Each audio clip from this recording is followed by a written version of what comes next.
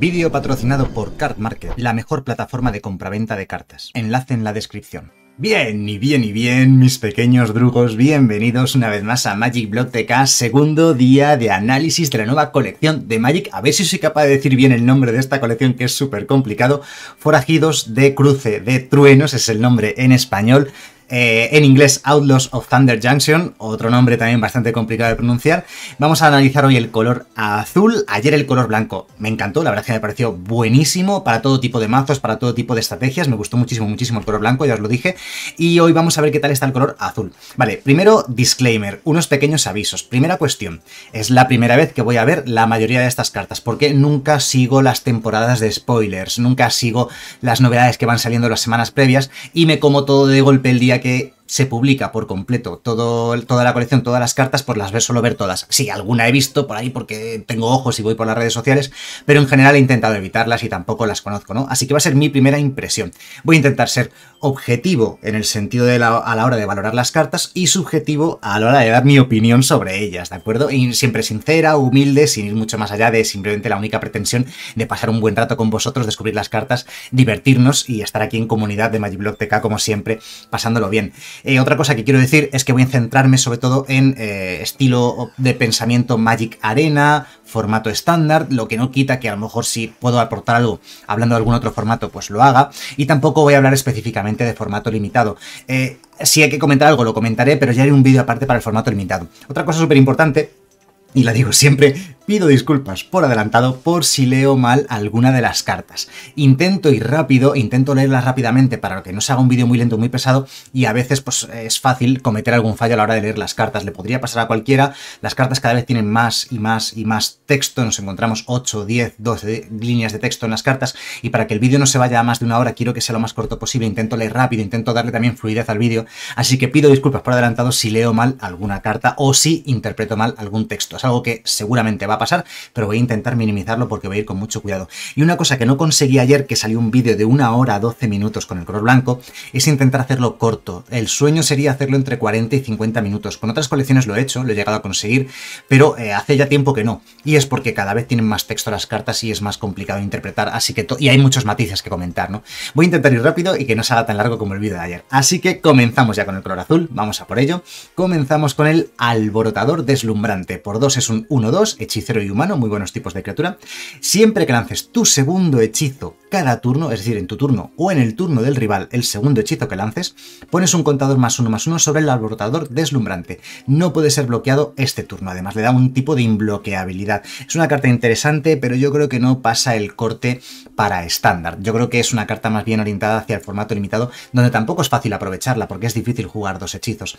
Por dos es solamente un 1-2, o sea, es decir, en el mejor de los casos, que va a ser 2-3, 3-4 como mucho, con mucho esfuerzo y jugando muchos hechizos. Así que no creo que sea una carta que vaya a brillar en estándar o en construido en general. Y tampoco la veo especialmente buena en limitado. Pero bueno, en limitado sí que es factible.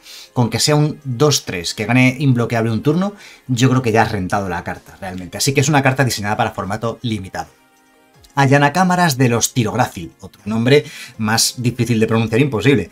Por 3 es un 1-4 vigilancia, buenos tipos de criatura, por cierto, que gana más 2 más 0 mientras hayas cometido un crimen. Crimen es haber hecho objetivo al oponente, a cualquiera de sus cosas, a cualquier cosa que tenga objetivo, mano, mazo, él, eh, criaturas, permanente, lo que sea es, cometer un crimen, ¿vale? Es una nueva habilidad, una nueva palabra clave en Magic y significa eso. Bueno, por 3, un 3-4 vigilancia, ni siquiera así, aunque fuese ya fija la habilidad del más 2 más 0, sería suficientemente buena para formato construido y obviamente es una carta diseñada para formato limitado. Es buena en limitado, yo creo, esta carta, bastante jugable. Pero no voy a hablar de limitado. Apariciones emergentes, por 2, encantamiento. Al final del turno, si no lanzaste un hechizo desde tu mano este turno, si lo has lanzado desde cualquier otro sitio, sigue valiendo, eh, y las apariciones emergentes no son una criatura, se convierte en una criatura 3-3 voladora además de sus otros tipos. Vamos a ver. Por 2 un 3-3 vuela, no está mal del todo, ¿de acuerdo? Tampoco es la bomba porque tanto para construido como para limitado te exigen no haber jugado hechizos durante un turno, o al menos hechizos desde tu mano. Se pueden jugar desde el exilio y cosas, o sea que tampoco es tan difícil. Y luego pagando 3 escrutas 1, que no está mal como una habilidad extra adicional. Sí que es buena para formato limitado. Yo creo que no pasa el corte para formato estándar porque es, o para construido en general, porque es un poquito lenta. El hecho de ser encantamiento es un plus que tiene, le puede dar una ventaja. El hecho de ser un encantamiento puede generar sinergias con otras cartas, pero no, no veo que sea una carta diseñada específicamente para construido, sino para formato limitado. Así que el color azul lo hemos comenzado seguramente con tres cartas para limitado. Muy distinto al blanco. Ayer el color blanco es que las tres primeras cartas eran bastante buenas, para construido o eran bastante jugables en construido y hoy empezamos justo al revés, tres cartas que no son buenas para formato estándar, no son buenas en general para formato construido, porque están diseñadas para otro formato, están diseñadas para formato limitado. Y es así, Magic diseña sus cartas con, una, con un pensamiento en la cabeza, ¿vale? Y en este caso el pensamiento era limitado. Bandido de semblantes, por 4 es un 2-2. Eh, puedes hacer que el bandido de semblantes entre al campo de batalla como una copia de una criatura que controlas, excepto que es un bribón metamorfo, además de sus otros tipos. Vale, es una criatura que copia otras criaturas. Estas criaturas siempre son buenas y siempre ven juego. Es un 2-2, pero claro, es un 2-2 que como va a entrar en juego copiando a una criatura que tú controlas, ¿vale? Eh, con los tipos adicionales Bribón y Metamorfo, si no tuvieses otras criaturas que controlas o lo que sea, pues se quedaría como un 2-2, sin más. Pero os digo que este tipo de cartas siempre acaban viendo juego porque si tienes buenas criaturas con buenas habilidades de entrar en juego, pues siempre vas a querer copiarlas. Y a lo mejor tienes en mesa una criatura de coste 6, 7, 8, pues la puedes copiar por 4 de mana, lo cual es muy eficiente. Y por cierto, que además tiene la nueva habilidad de tramar, nueva habilidad que sale en esta colección, que ya comentamos ayer en el color blanco, y que nos va a permitir exiliarla por un coste de coste 3 en este caso, este turno y jugarla en otro turno más adelante. Se trama a velocidad de conjuro, se jugará después a velocidad de conjuro durante uno de tus turnos. Bien, eh, el caso es que en un turno posterior a velocidad de conjuro. Bueno, el caso es que estaba leyendo por si acaso el texto. Vale, me parece que la carta es buena, me parece que es jugable y no me sorprendería que algo de juego llegase a ver en estándar porque en otras ocasiones ha ocurrido que esto ha visto juego.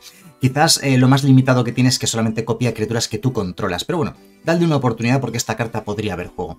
Bandolero ágil, por 3 es un 1-3, que no puede ser bloqueado si contiene, si cometiste, perdón, un crimen este turno. O sea, ¿por ¿qué más da que no pueda ser bloqueado si solamente pega uno? Siempre que haga daño de combate a un jugador, roba una carta. Vale, ahí ya empezamos a hablar. Es una carta interesante, es un Ofidio. El Ofidio es una carta similar que salió, pues yo creo que en el año 96 en Visiones, una colección muy antigua, y que era así, más o menos, ¿vale? Parecida. Por 3, un 1-3, que si hacía daño a un rival, podías hacer que no hiciese daño y robabas una carta, y se jugó mucho antaño. Hoy en día este tipo de cartas son demasiado lentas, demasiado pesadas para que lleguen a, ver juego, y aunque es muy bueno robar cartas extras, no deja de ser una criatura 1-3, tienes que haber cometido un crimen para que sea imbloqueable, si no te la van a poder bloquear fácilmente, y si el rival lo ve, te la va a poder matar o subir a la mano fácilmente, porque hay, hoy en día hay demasiados anticriaturas, demasiado removal, demasiado de todo, para que esto llegue a contactar. ¿Y por qué digo que esta carta no se jugar en estándar? Porque ha habido cartas similares en los últimos años a esta y ya no han visto juegos, ya no estamos en los 90. El Magic actual pide un nivel de poder más alto para que la carta sea jugable. Eso sí, en limitado esta carta es una bomba. Cangrejo del Cañón por 2 es un 0,5, pagando 2 gana más 2 menos 2, o sea que puede llegar a ser un 4-1. Eh, sin morirse, quiero decir, en situaciones normales. Y al comienzo de tu paso final, es decir, al final del turno, si no lanzaste un hechizo desde tu mano este turno, robas una carta, descartas una carta. A ver, por 2 un 0-5, no está mal. Y luego además puede crecer, puede ser 2-3 o puede ser 4-1. Es una carta que yo creo que no pasa el corte de estándar, porque hay criaturas mejores, más interesantes, que no te, no te exigen tanto gasto de mana. Y el robar descartar está bien, pero tampoco es que sea la bomba. No es una carta que se vaya a jugar en estándar en un principio. No sé si quizás un mazo de control de banquillo para bloquear criaturas rápidas del rival podría valer esto para algo, sí podría valer quizás. Pero en general es una carta que está diseñada para limitado, donde creo que es bastante buena, pero no para estándar. Digo estándar porque es el formato más pequeño de todos, es el menos poderoso de todos. Si no vale para estándar, normalmente tampoco va a valer para el resto de formatos, ¿no? Cargar con la culpa. Por un mana azul instantáneo, la criatura objetivo tiene menos 1, menos 0 hasta el final del turno. En vez de eso es menos 4, menos 0 si controlas un forajido. Pues mirad, ayer hablé de los forajidos, que son un nuevo conjunto de tipos de criatura, y no nos salió la referencia a los forajidos. De hecho, el nombre de la colección, Forajidos de Cruce de Truenos, pues viene de ahí, ¿no? Bien, los forajidos van a ser los siguientes tipos de criatura, e id aprendiéndolos porque lo vais a necesitar, lo vais a necesitar saber. Asesinos, mercenarios, piratas, bribones y brujos son forajidos. Y robas una carta. Por un mana azul, menos uno, menos cero, robas una carta. Si era un forajido, es menos cuatro, menos cero. Esta carta es jugable. No sé exactamente qué tipo de mazo la va a llegar a jugar, pero por un mana azul robas una carta. Solo por eso la carta ya empieza a ser interesante. Todos los hechizos cantrip, cantrip quiere decir que al jugarlo robas carta, son interesantes. Y más aún cuando solamente cuestan un mana. Como mínimo los mazos de combo que quieren simplemente profundizar en el mazo para encontrar sus piezas del combo. O jugar varios hechizos en un mismo turno para disparar habilidades. Ya quieren este tipo de cartas. El problema tiene un problema esta carta. Y es que tiene obligatoriamente que hacer objetivo a una criatura. Entonces, si no hay criaturas en mesa, no puedes jugar la carta. Y eso es un hándicap para ese tipo de mazos de combo o de sinergias. Mazos de control. ¿Mazos de control querrían jugar cargar con la culpa para ahorrarse un ataque de un turno? Pues podría ser. No sé si de base, pero quizás sea una carta para banquillo. Pensando en un mazo de control, la típica azul-blanca de control. Le atacas con un con un forajido cualquiera que pega 3 o 4. Previenes esos 3 o 4 puntos de daño y además robas carta y solo te ha costado un mana azul. La carta creo que es jugable y no os sorprendéis si esto ve juego en estándar o en otros formatos incluso, en construido, con esas pequeñas salvedades que os he comentado. Cerrajera de, los Tirográcil. Todos los nombres son súper complicados de pronunciar. Por 3 es un 2-3, bribón y humano que cuando entra en juego la carta de instantáneo o de conjuro objetivo en tu cementerio gana la habilidad de retrospectiva hasta el final del turno. Su coste de retrospectiva es igual a su coste de mana, vamos, que la puedes jugar del cementerio y luego se exilia, pagando su coste de mana, ¿vale? Lo cual la hace interesante por lo menos. El problema es que es, un poquito cara, cuesta 3 de mana y es un 2-3, ¿vale? Recuerda un poquito al Snapcaster Mage en ese sentido. Y tiene Tramar 3 para que la puedas jugar más adelante en otro turno, como ya hemos explicado antes cómo funciona la habilidad de Tramar y como ya explicamos en el día de ayer. Es una carta que está cerca, yo creo, de ser jugable en construido, pero que no pasa el corte porque es un poquito cara, incluso con... Bueno, a ver, con la habilidad de tramar se vuelve mucho más interesante, pero has tenido que perder un turno, has tenido que perder 3 de maná para luego más adelante jugarla desde el exilio. Y em, combina, combina con una carta que vimos blanca ayer y otra que hemos visto hoy, que... Em, ¿Dónde están? Cartas que hemos visto que dicen... Si no jugaste un hechizo este turno, o si no jugaste un hechizo desde tu mano este turno, por ejemplo, combina con apariciones emergentes, ¿de acuerdo? Porque juegas apariciones emergentes de segundo turno y eh, al final del turno, como no has jugado hechizos porque has tramado, has tramado en el tercer turno, esto se convierte en un 3-3, vuela. Lo que pasa es que es lento para estándar, ¿vale? Porque no has podido, atacar en el, no has podido eh, atacar en el segundo turno porque es cuando la juegas, no has podido atacar en el tercer turno porque sigue siendo un encantamiento, y esto empezaría a atacar a partir del cuarto turno. Así que lo veo un poco lento para construido, pero como digo, es una sinergia que tendrías, por ejemplo, con la cerajea de los tirográcil. Y luego además podrías jugar cuando tú quisieras en un futuro gratis una criatura 2-3 que te permitirá lanzar pagando el coste de retrospectiva, que sería el coste de la carta, desde el cementerio. Como digo, un poco lento y un poco pesado para que estas sinergias o esta carta o, la de, o el encantamiento que hemos visto antes lleguen a ver juego en estándar. Eh, son muy buenas en limitado, creo que en limitado sí que son bastante buenas, pero no para estándar, no para, no para el formato construido donde yo creo que no llegan a, a pasar el corte, ¿no? Bueno, cruzar a otro mundo. Vamos a ver porque el color azul ha empezado relativamente flojo, ¿eh? No hemos visto todavía ninguna carta buena. Cruzar a otro mundo. Por 5, conjuro, cada jugador puede barajar su mano y su cementerio en su mazo, y cada jugador que lo haga roba 7 cartas. Exilia cruzar a otro mundo, ¿en serio? Es un roba 7. A ver, las... Eh, no hay muchos... Eh, bueno, hay muchos mientos, sí. Hay bastantes cartas en la historia de Magic que dicen roba 7 cartas. Tú y el rival. Normalmente suelen ser efectos simétricos. Eh, y además tiene el efecto de barajar todo manos, cementerios, bibliotecas, de modo que deniegas, o denegas, mejor dicho, al rival eh, su, cementerio, que puede ser muy bueno, muy importante. Es cierto que es un poquito caro, coste 5, ¿vale? Pero mm, ha habido otros, ha habido otros Roba 7 mucho más baratos, ¿no? De, de coste 3, de coste 4 de coste 5 y 6 también los ha habido y se han jugado, ¿no? Con otras, eh, con otras propiedades.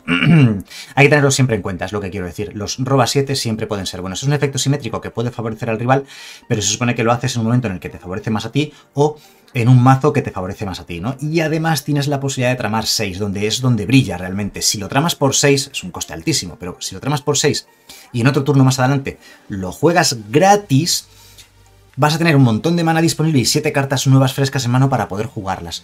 Carta a tener en cuenta, puede ser muy buena, puede llegar a haber juego en algunos mazos, incluso de combo, y habrá que ver en el futuro qué es lo que ocurre con ella. O sea, marcadla como una carta que posiblemente no llegue a haber juego nunca, porque hay otras opciones mejoras, mejores de roba 7 en formatos antiguos. En estándar no tenemos ninguna otra opción roba 7 como esta, eh, ni parecida siquiera. Y podría haber juego en un mazo de combo o con unas sinergias especiales que pudiesen llegar a aprovechar esta carta. En cualquier caso, es de estas que, bueno, a lo mejor no se juega nunca, pero no le quitemos el ojo de encima porque podría ser muy buena. Desentrañar los secretos. Por 3, conjuro, te cuesta no menos lanzar este hechizo si cometiste un crimen este turno, cosa que es fácil, y robas dos cartas. O sea, por 3 robar dos cartas, bueno, es un poquito cutre, en limitado se puede jugar, pero por 2 robar dos cartas está bastante, bastante bien. El problema es que para hacer objetivo al, rival o alguno de sus objetos, tienes que eh, haber gastado maná probablemente. O sea que para que esto cueste menos maná, has tenido que gastar maná previamente, perdóname. Así que bueno, yo creo que es una carta que no va a haber juego porque hay otros robacartas mejores. De hecho, actualmente en estándar tenemos por 3 a velocidad instantánea, roba 2, por ejemplo. Y ve algo de juego. Creo que es mejor que este. No es malo, o sea, esto no está muy por debajo de esa carta, pero yo creo que hay opciones mejores para robar cartas y que no acabará habiendo juego. En limitado son interesantes este tipo de cartas y está un poquito más. Desperado de lodo hondo por 3 es un 2-4. Siempre que cometas un crimen, cada oponente muele 3 cartas. Esta habilidad solo se dispara una vez por turno. Qué pena porque si se disparase varias veces por turno, o todas las veces que quisieras por turno, si no tuviese esa limitación, si no tuviese esa limitación, esta carta podría ser jugable en mazos de dequeo, intentar dequear el mazo al rival. Em, solamente funciona con oponentes, no te lo puedes hacer a ti. Es una pena porque podría provocar que, tú, que generase sinergias con cementerios. Pero el hecho de que solamente lo haga una vez por turno hace que la carta no sea jugable para formato construido. Ojito en limitado, porque en limitado creo que sí será buena. Por 3 es un 2-4, buenas estadísticas para un coste 3. Y a poco que hagas objetivo o que puedas hacer objetivo 4, 5, 6 veces en una partida, podrías llegar a dejar el mazo, o sea, al rival sin el mazo y ganar la partida por dequeo, ¿no? Moliendo el mazo del rival. No me parece mala para limitado. Disparo metamórfico por un mana azul instantáneo, carta con la habilidad arrebato. Nueva palabra clave, nueva, nueva habilidad que, viene a Magic con esta colección que ya comentamos en el día de ayer. Se parece un poquito al estímulo o al, al multiestímulo, pero no es lo mismo, ¿vale? O sea, mucha gente está diciendo, ¿es lo mismo? Pues no es lo mismo. Es, podríamos decir que es una versión o que recuerda al estímulo o al multiestímulo, pero no, no es lo mismo que estímulo o que multiestímulo. Entonces, esta carta, estas cartas con arrebato tienen un coste base que sería este de aquí, un mana azul, que no hace nada. Tú puedes pagar un mana azul para no hacer nada. Si quieres hacer algo, tienes que pagar un mana adicional por esta primera habilidad, o esta primera coste adicional, mejor dicho, o puedes pagar también otro coste adicional por este más 3. O sea, puedes estar pagando 2 por esta carta, o pagar 4, o pagar 5, ¿vale? Hemos visto cartas que tienen hasta 3 habilidades distintas. No sé si habrá más, solamente hemos visto el color blanco y un poquito del color azul. Entonces no puedes repetir varias veces la misma línea de texto. Bueno, vamos a por ello. Por un mana adicional, hasta el final del turno, la criatura objetivo se convierte en un conejo blanco con fuerza y resistencia base 0-1, básicamente para anular una criatura del rival, ¿no? Eh, por 3 más, eh, el jugador objetivo roba 2 cartas, o sea, por 4 robas 2 cartas o conviertes una criatura en un 0-1, pero que mantiene sus habilidades. Y por 5 de mana en total anulas una criatura, la dejas en un 0-1, eh, pero dejas sus habilidades y robas dos cartas a velocidad de instantáneo. Esta carta es jugable. yo diría que es mínimamente jugable en estándar cualquier eh, robacartas de coste 4 instantáneo con el cual robas dos. Llega a ser jugable si tiene un extra interesante. El problema es que yo creo que este extra no es suficientemente interesante, dado que ni siquiera quita las habilidades de la criatura. Así que voy, a, decir que no es jugable. Es que hay muchos robacartas muy buenos en estándar de coste 4 instantáneos, mejores que este. Por eso, no es que la carta sea injugable, en la historia de Magic se han jugado robacartas de este calibre, pero, ya ha subido mucho el nivel. Es lo que digo a veces, que si miras 20 años atrás, pues a lo mejor habría sido jugable. A día de hoy creo que la competencia es más alta y no va a poder tener... Em, no va a poder encontrar hueco en ningún mazo. Jin de Despeñanez... De, Sí, despeñanecios. Por 5, 4-3 vuela, que tiene tramar 4. Carta 100% orientada a formato limitado. Para que sea buena en construido necesita tener muy buenas habilidades. No las tiene. Draco del Heiser, por 3 es un 2-3, vuela, mientras no sea tu turno te cuesta uno menos lanzar hechizos, o sea, en el turno del rival te costaría eh, menos lanzar hechizos, uno menos, está bastante bien para formato limitado, no pasa el corte para estándar.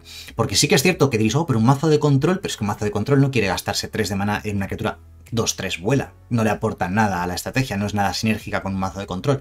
Y los mazos agro tampoco van a encontrar un gran interés en esto, ni midrange ni nada. Es una carta diseñada claramente para formato limitado.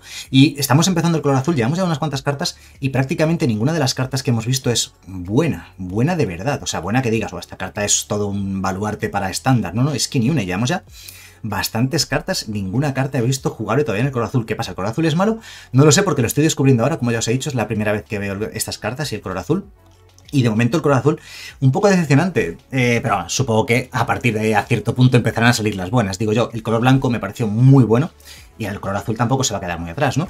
Duelista de la mente, por 2 es un asterisco 3, vuela vigilancia. Pinta bien, ¿vale? Volar vigilancia por 2 de mana y aguantar 3, ya, o sea, está bien. ¿El asterisco qué es? Ahora lo veremos. Bueno, la fuerza del duelista de la mente es igual a la cantidad de cartas que robaste este turno. Vale, así que normalmente va a pegar uno o incluso dos. Hay que tener en cuenta que tiene volar y vigilancia, o sea, la carta es bastante interesante. Eh, incluso durante el turno del rival tiras el típico hechizo de robo dos cartas o robo tres cartas o lo que sea. También cuentan las de robo descarto, cuidado con eso, robar descartar es mucho más sencillo, ocurre muy a menudo, ¿no? Así que que esta criatura pegue uno, dos, tres es bastante factible. Siempre que cometas, por cierto, mola con esta. Bueno, mola con esta, con cualquier carta que sea robar cartas, lógicamente, con cualquier, no, no hagáis caso. Mola con cualquier carta que diga robas cartas. Bien, entonces, eh, continúo. Eh, siempre que cometas un crimen puedes robar una carta. Si lo haces, descarta una carta. Esta habilidad solo se dispara una vez por turno. O sea, encima tiene efecto loot o looting. Eh, cuando decimos loot o looting viene del Merfolk Looter, el Merfolk Looter era una criatura que la girabas, robas descartas, es lo que hacía, ¿no? Por dos era un 1-1, lo giras, robas descartas. Bueno, por eso muchas veces si oís la palabra loot o looting o looter, pues viene de, eso, ¿no? Del Merfolk Looter. El caso, que fue una carta muy jugada en su momento. Bueno, el caso es que este tiene ese efecto looting una vez por turno, siempre que cometas un crimen, lo cual, bueno, pues puedes hacerlo más o menos casi todos los turnos. Es consejero y es humano. Si fuese hechicero, para un mazo de hechiceros que sí que suelen, hacer eh, más objetivos a cosas del rival, para un mazo de humanos, de consejeros, ni. No, bueno, casi no lo tengo en cuenta. Que esto pegue. De base va a pegar uno porque has robado una carta, la de tu turno. Dos, porque has hecho un crimen, ¿vale? Bueno. No sé si es jugable. Creo que es buena. A ver, no, vale, esta carta se va a jugar, ¿vale? Pero tiene que encontrar su. Bueno, es difícil valorar esta carta. Voy a decirlo bien, ¿vale? La carta creo que no es demasiado buena, pero tiene un mazo. Y tiene un mazo de robar cartas, y descartar cartas o lo que sea y de hacer objetivos. Y creo que en ese mazo la carta pega bastante.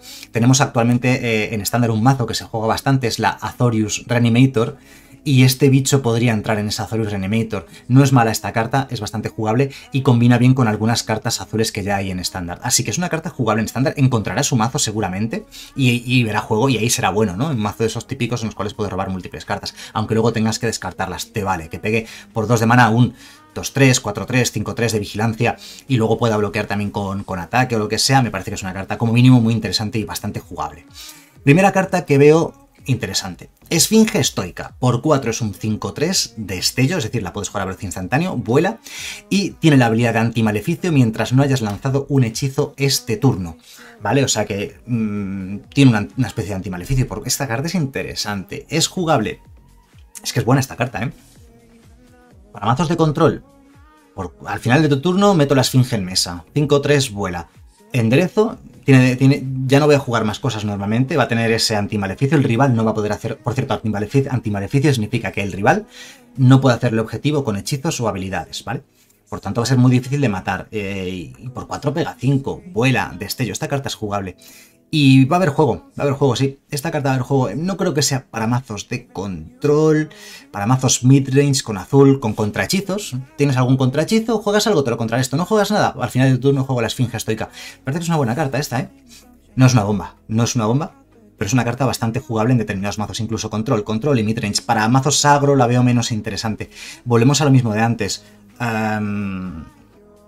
es, con counters es una carta muy buena. Esfinge. frustrante. Esfinge merodeadora, interesante. Esa también se va a jugar, seguro. Esfinge merodeadora, por 5 es un 3-5, vuela, vigilancia, rebatir. Oye, ¿qué está pasando? Estas tres criaturas seguidas son bastante buenas y tienen volar y vigilancia. Durista de la mente, vuela vigilancia. Esfinge estoica, estoica, vuelo, destello. O sea, vuela destello, muy buena también. Y esta vuela, vigilancia y además rebatir 2. Es un poquito cara para un 3-5, joder, pero tiene tres habilidades buenas. Siempre que cometas un crimen, escrutas dos, miras las dos cartas del top y las puedes dejar arriba o en el cementerio y en el orden que quieras si las dejas arriba. Y puedes dejar la cantidad de cartas que quieras arriba. Una arriba, dos arriba en el orden que quieras, cero arriba y las otras dos al cementerio, como tú quieras. Solo se dispara una vez por turno. A ver, la carta es bastante potente, bastante interesante. Joder, es infrecuente, ¿qué me estás contando? Esta carta, esta carta está rotísima en limitado.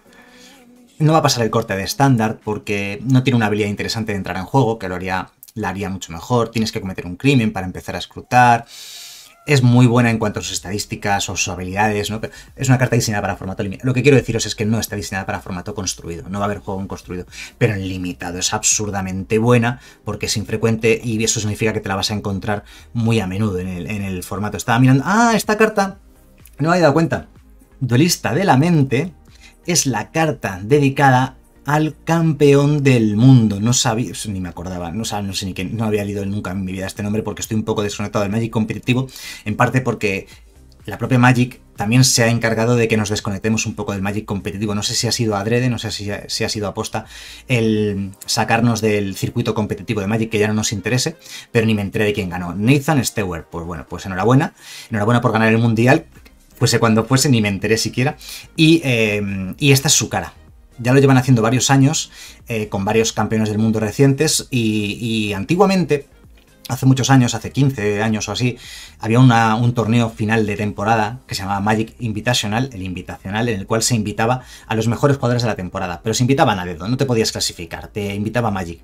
Y el ganador de ese invitacional, que era un torneo muy curioso, con formatos inventados muy raros, muy graciosos, el ganador creaba su propia carta, la diseñaba, luego se la toqueteaban, ¿vale? Para ajustarla, para que no fuese demasiado buena, para que fuese, para que fuese buena carta, ¿vale? Pero no estuviese rota, para que fuese una carta con sentido, eh, pero eso eran los invitacionales. Se dejaron de hacer hace muchos años los invitacionales y hace cuatro años, creo, el campeón, el primer campeón del mundo que hubo, que hizo carta de nuevo, creo que fue Javier Domínguez, el español, eh, que hizo el campeón ferviente, se llamaba o algo así.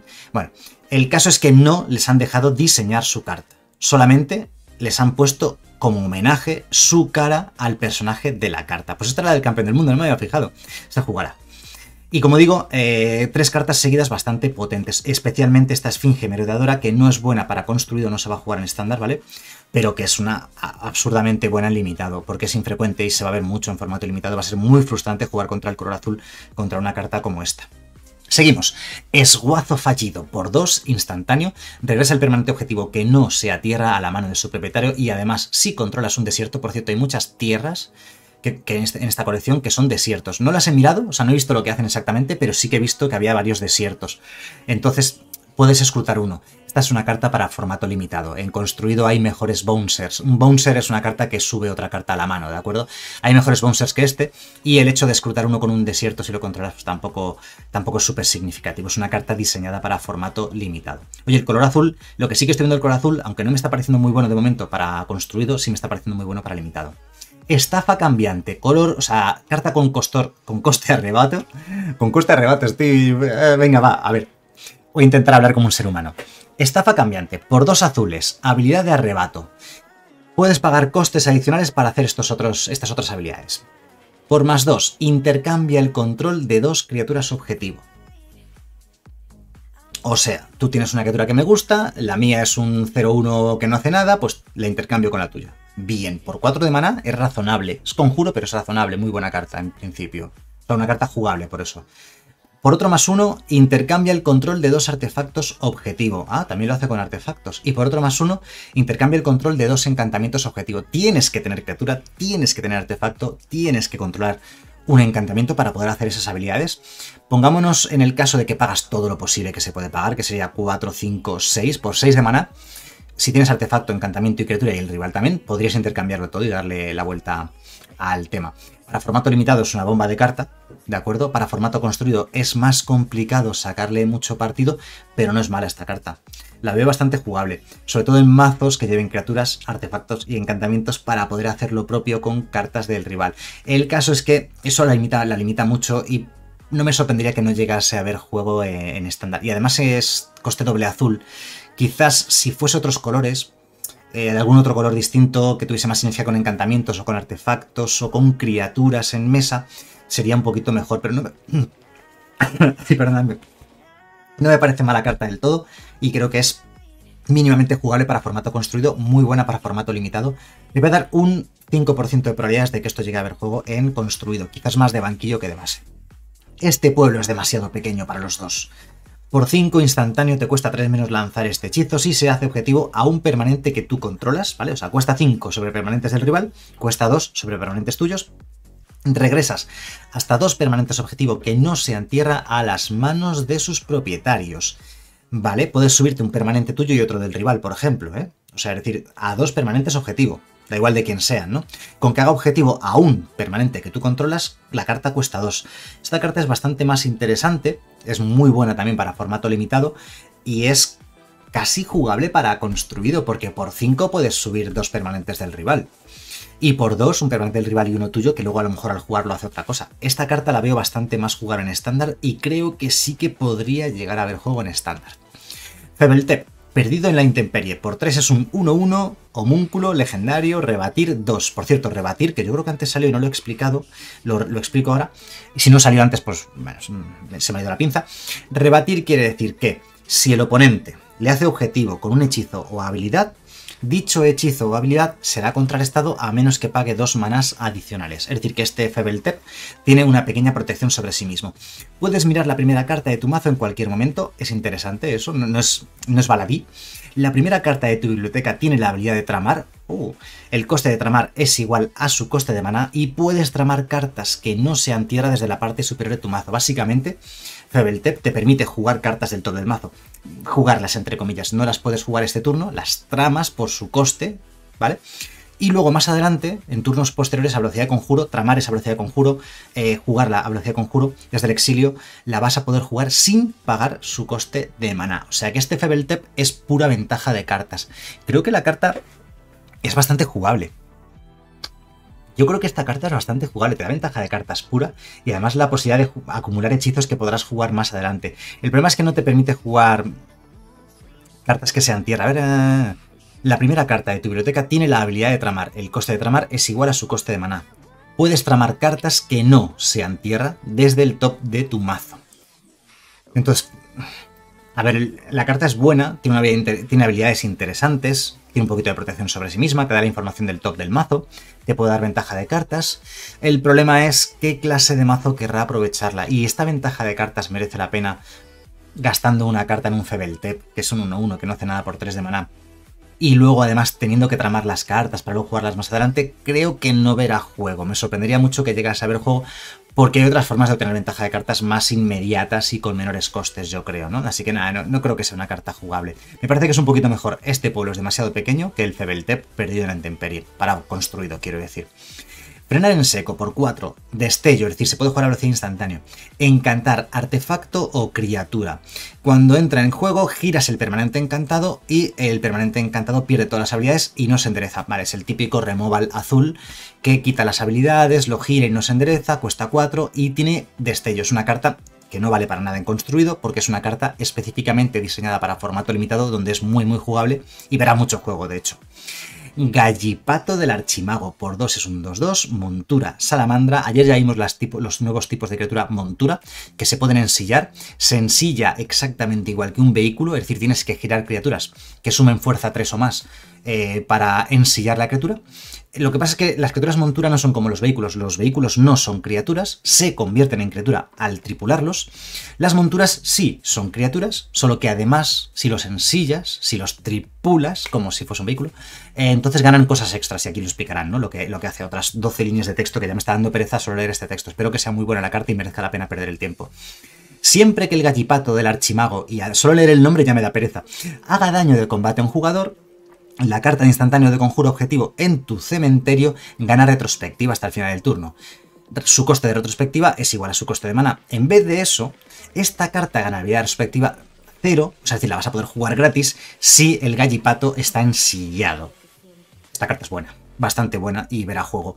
Porque eh, el mero hecho de poder rejugar eh, hechizos desde tu cementerio, sean eh, instantáneos o conjuros, aunque sea pagando su coste, su coste de mana de nuevo como si fuese de retrospectiva, ya la hace interesante. O sea, decir, hay muchos hechizos de coste 1, azules, rojos, por ejemplo, que son muy, muy, muy interesantes. El problema es que llegues a hacer daño de combate con un 2-2 sin habilidades propias, ¿no? Ensillarlo es muy caro. Ensillarlo cuesta 3, pero yo qué sé, puede que juegues una carta, una criatura de fuerza 3 y automáticamente la utilices para ensillar el gallipato y hagas daño de combate y juegas gratis un instantáneo conjuro desde el cementerio. La carta es buena, tiene potencial y verá juego en algún formato. El problema yo le veo, le veo varios problemas. Primero, no tiene ninguna habilidad propia que le dé evasión para que sea difícilmente bloqueable. O em, no tiene un tipo de criatura bueno como hechicero, por ejemplo, o humano, sino que es salamandra, que no tiene sinergias.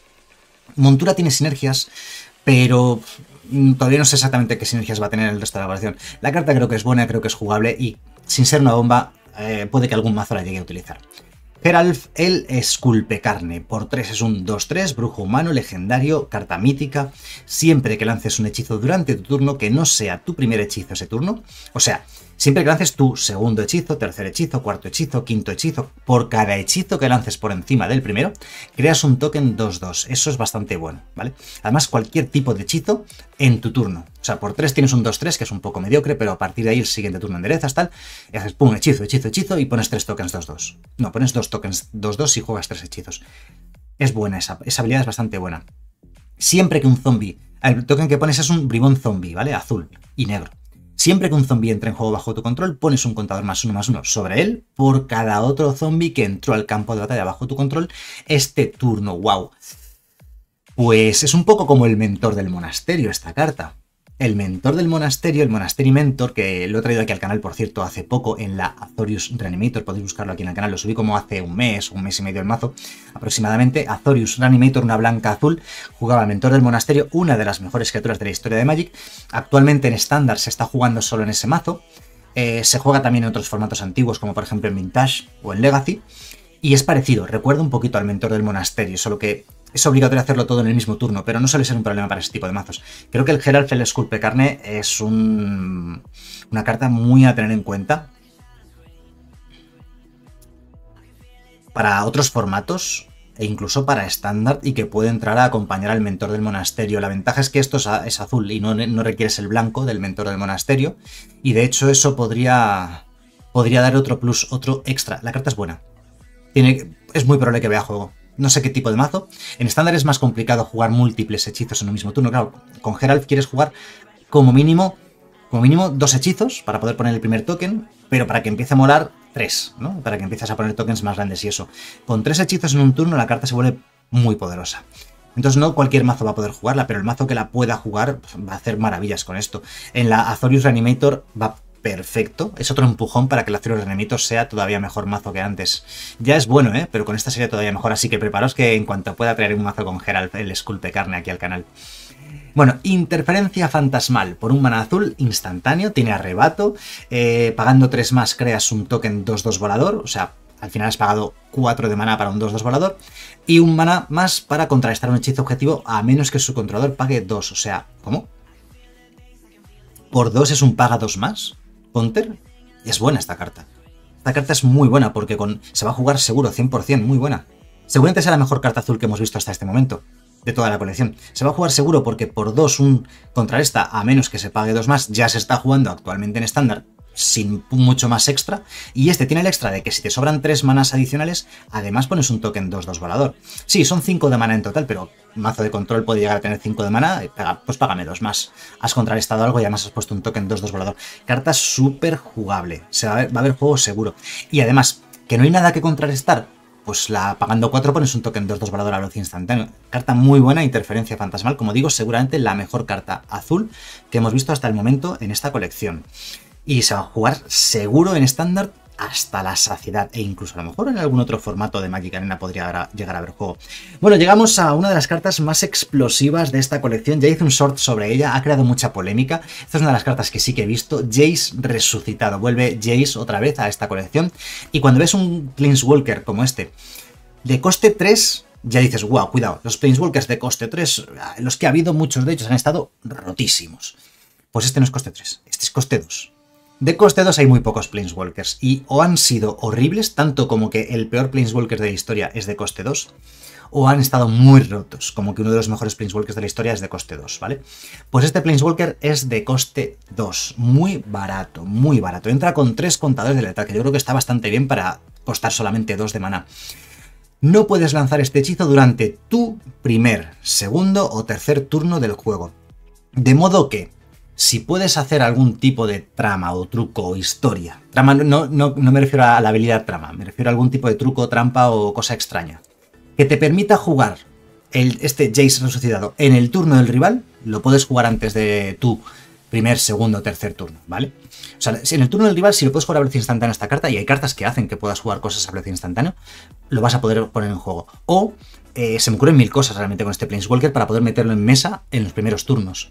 Hay cartas que reaniman permanentes del cementerio al juego, sobre todo si los permanentes son de coste 3 o menos, como es el caso. O sea, es decir, no es tanto handicap para jugarlo pronto, ¿vale? Lo vas a poder jugar en los tres primeros turnos con diferentes trucos o trampas en diferentes formatos.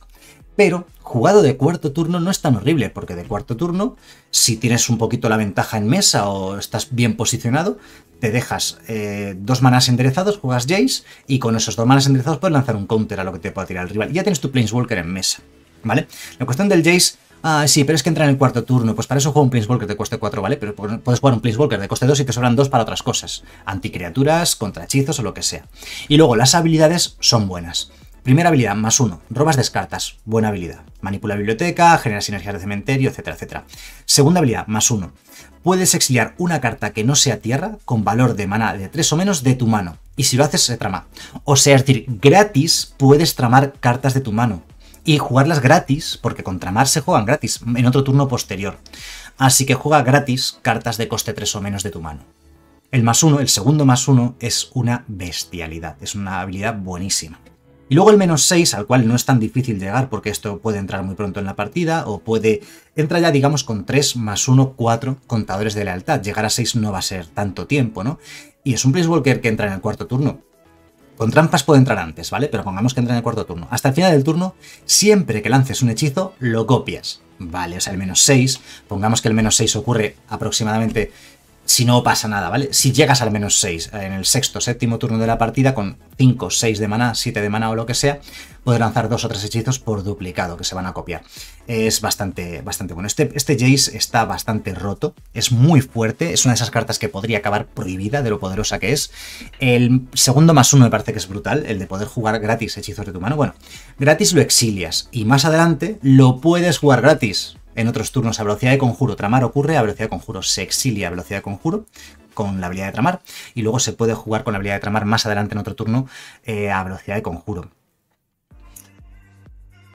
La carta es buenísima. Te deja dos manas enderezados en el cuarto turno para hacer otras cosas. Y con trampas se puede jugar antes.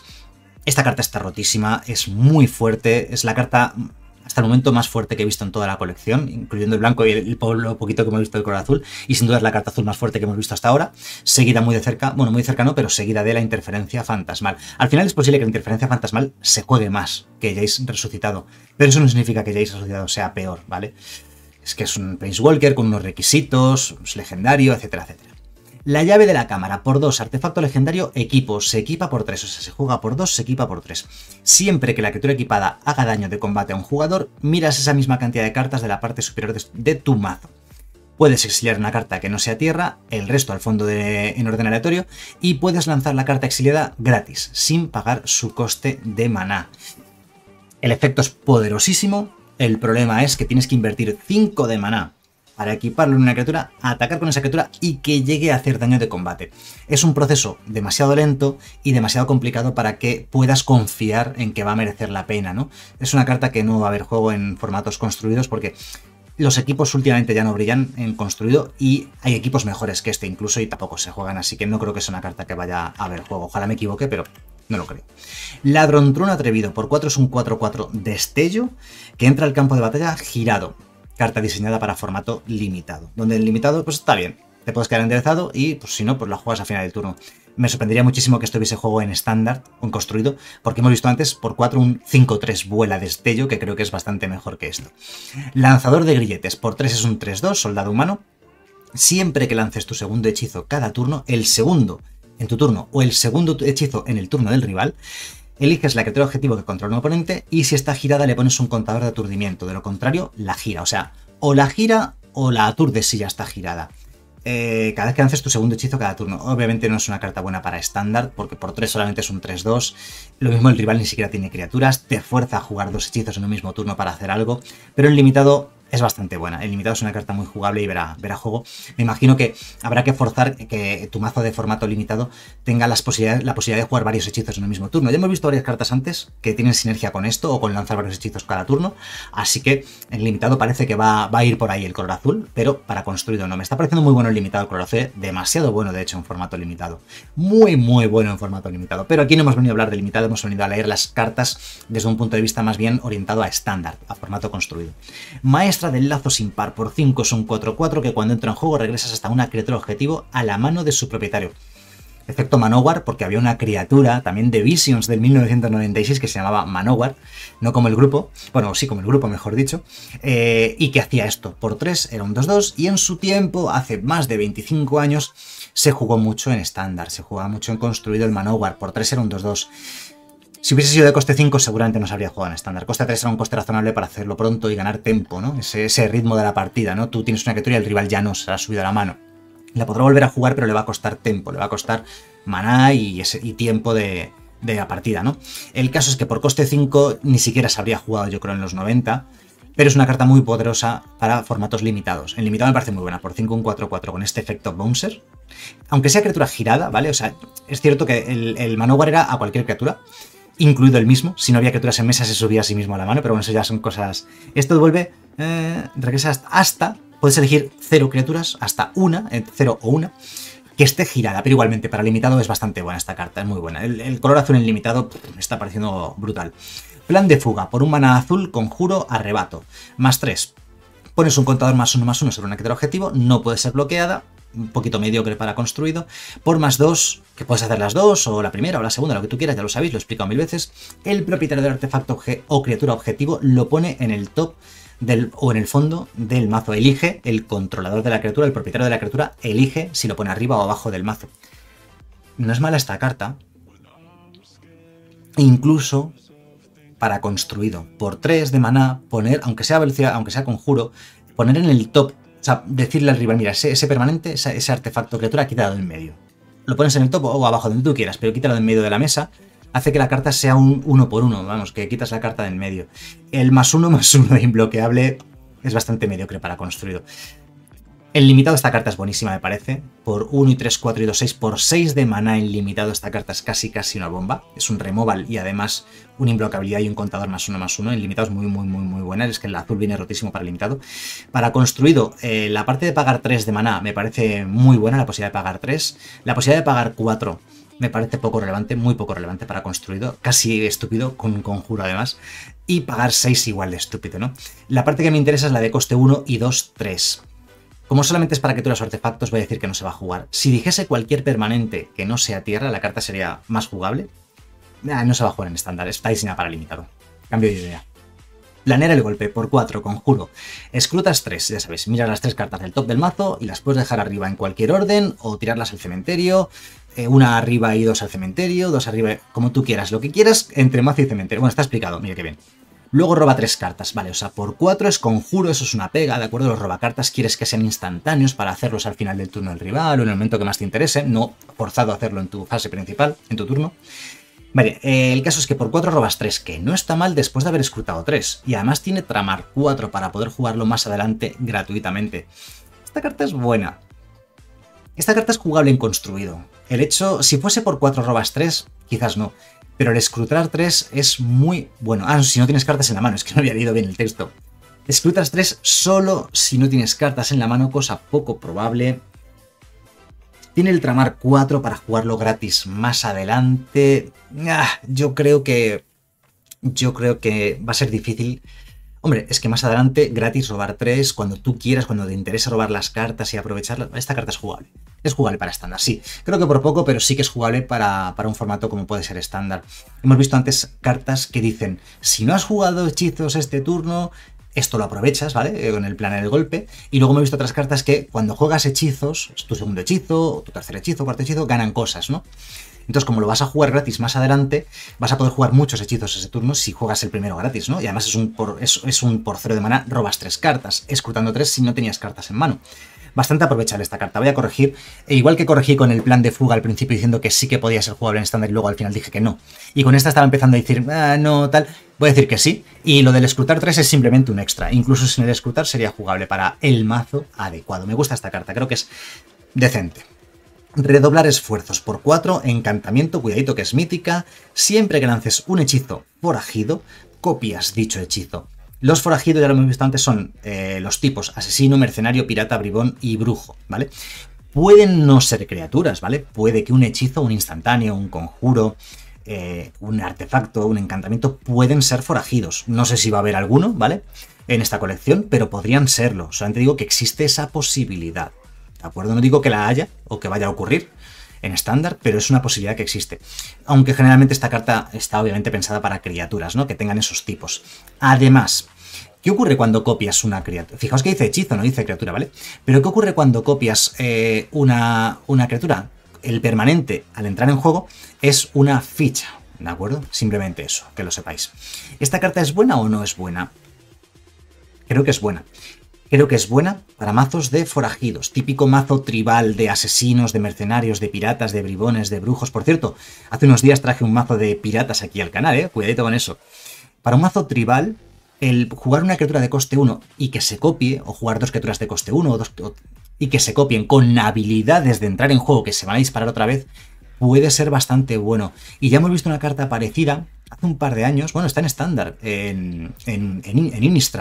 Innistrad, Cacería de Medianoche, creo que había un encantamiento que copiaba zombies, puede ser. Es que es que nos hemos olvidado de muchísimas cartas de Innistrad. Hay muchas cartas muy buenas, con zombies, con vampiros, con cosas de ese estilo. Nos hemos olvidado de ellas, eran muy buenas, vieron juego y brillaron durante unos, eh, durante unos meses, pero nos hemos ido olvidando porque han pasado ya muchos meses, eh, años, ¿no? Desde la salida de Innistrad.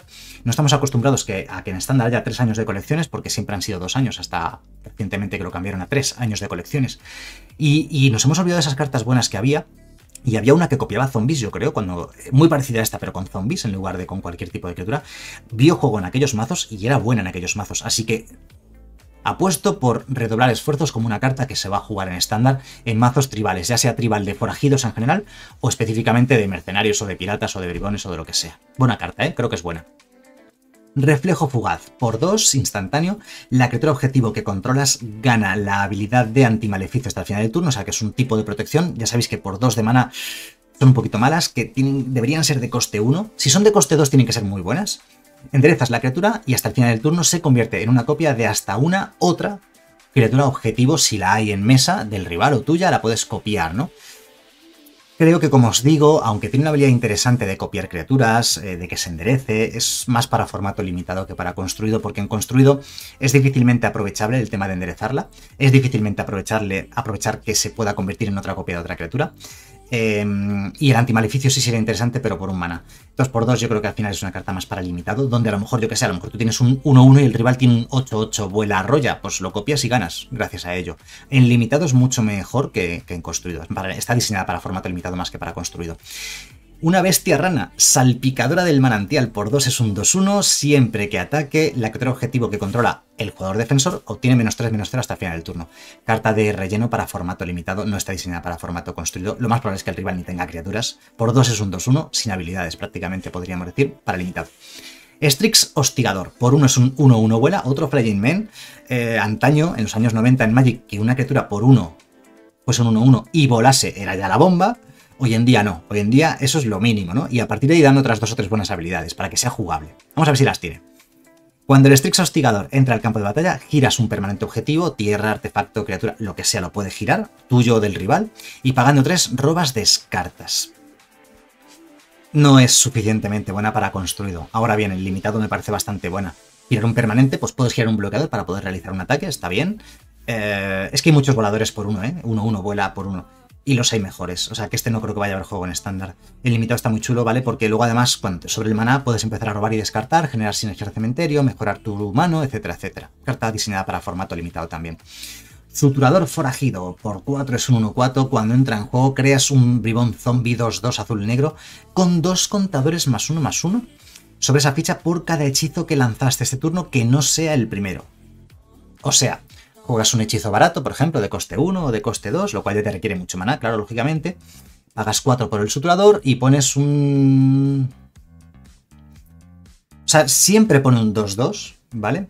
Y luego por cada hechizo que hayas lanzado antes, que no fuese el primero, no, por cada hechizo que hayas lanzado se cuenta a sí mismo, se cuenta a sí mismo, pones eh, dos contadores más uno más uno. O sea, pongamos que lanza un hechizo de coste 1, pongamos, y luego el suturador. Entonces tendría un 1-4 y además un 4-4, ¿vale? Porque el 2-2 entraría con dos contadores más uno más uno. Si lanzaste dos hechizos previos, aparte del primero, o sea, si lanzaste dos hechizos este turno, aparte del primero, sería ya el tercer hechizo, el suturador, entonces pondrías un 6-6 y un 1-4.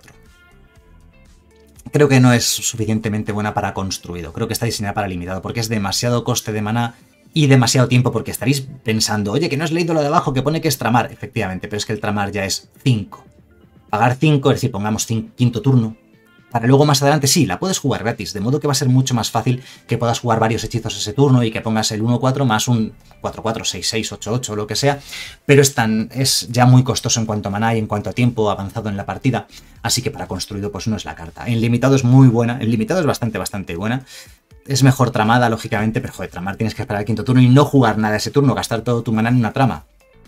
Entonces, creo que la carta es buena para limitado, como digo, como mínimo, por 4 es un 1-4 que pone un 2-2. O sea, como mínimo es un 2 por 1. La carta ya es jugable.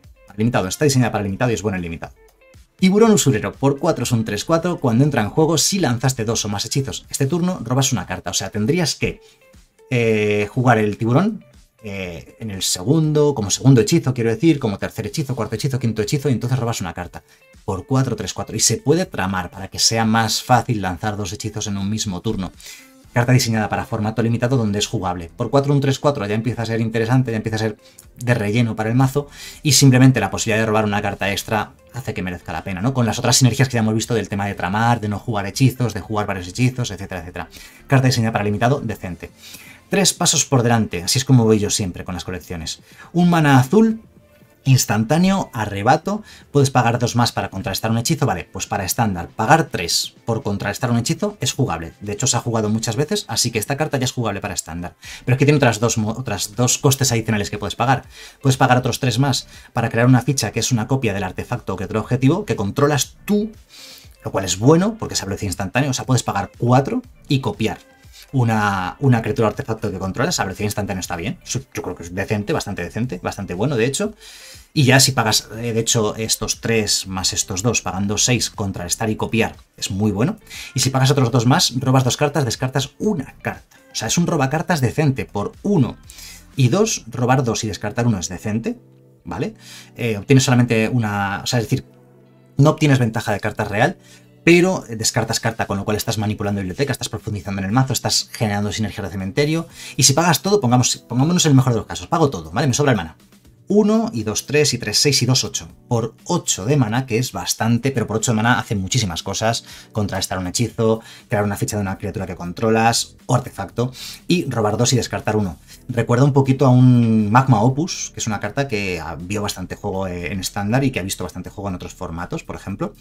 Y esta carta es bastante buena. Esta carta es muy, muy jugable a ver juego en estándar 100% garantizado porque es un hard counter por coste 3 y además con otras cosas adicionales que pueden ser buenas. Que no quieres contrarrestar, que quieres robar, pues robas.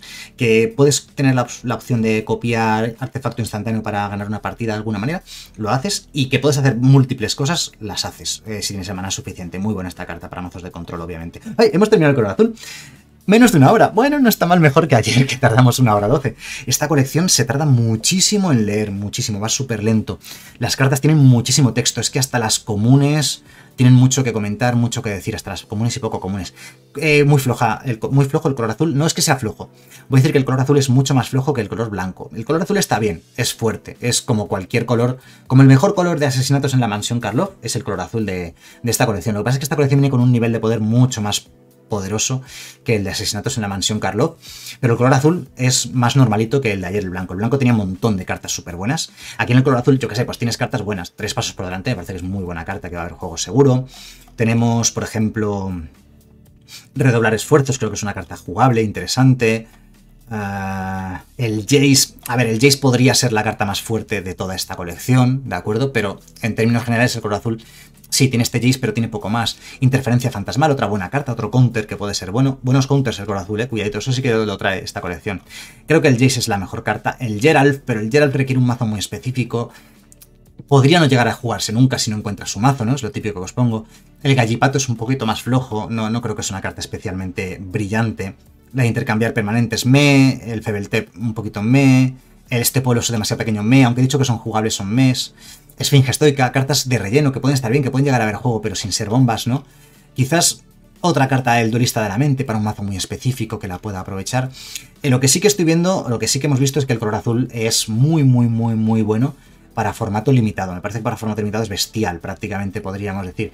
Pero en, formato construido, pues deja, deja, un poquito, deja un poquito que desear. No creo que sea, no creo que sea un color eh, súper bueno. Así que venga, no me enrollo más porque seguro que estáis deseando eh, poneros a, analizar la colección por vuestra, por vuestra cuenta, viendo cada una de las cartas, volviendo a leerlas, analizándolas otra vez. Eh, corrigiendo diferentes tipos de cosas, así que bueno, ya nos veremos mañana con el análisis del color negro. Espero que el vídeo os haya gustado y nos vemos en el siguiente. Hasta luego.